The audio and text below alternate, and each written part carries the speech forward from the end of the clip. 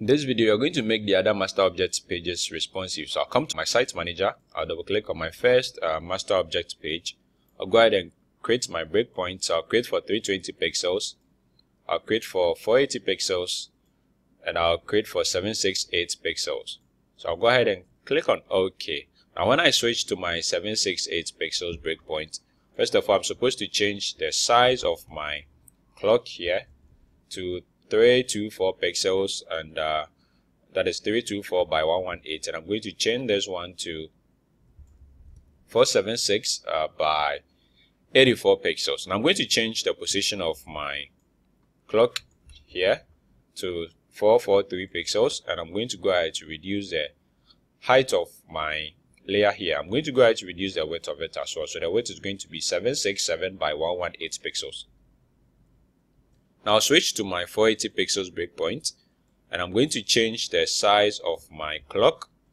So the clock size is going to be 185 by 67 pixels and uh, the layer um, that is the image or the banner image is going to be 296 by 52 pixels. Now I'm going to change the position of this which is going to be 295 by 0 pixels and I'm going to reduce the height as well as the width of it so that is it. Now I'm going to switch to my 320 pixels breakpoint. And this time around, I'm going to change the size of my banner image here to 313 by 55 pixels. Now I can't use this image here. So I'm just going to reduce the size, bring it to this position, and I'm going to hide it.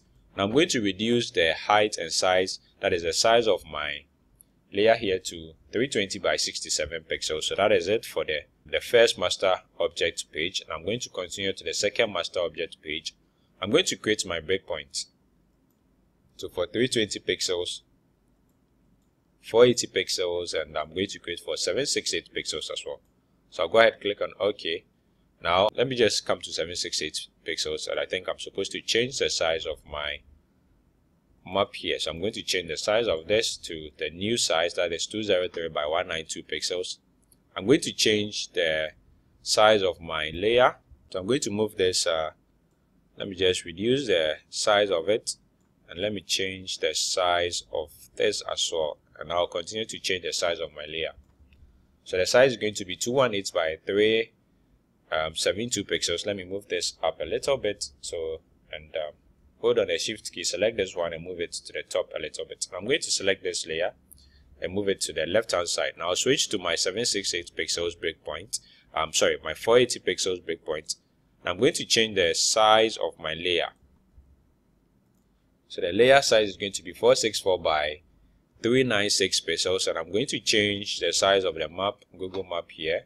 That is going to be 452 by 230 pixels and I'm going to change the position for it. So the position is going to be 4 by 44 pixels. And I'm going to change the size of my text below change the size of it as well as I'm going to change the position of it. So let me just click on it and change the position of it. Now I'm going to go ahead and change my um, size and position of my 320 pixels. So I'm going to first of all change the size of my layer I think it's the same size. Let me just move this a little bit to the bottom. Let me move it to the top.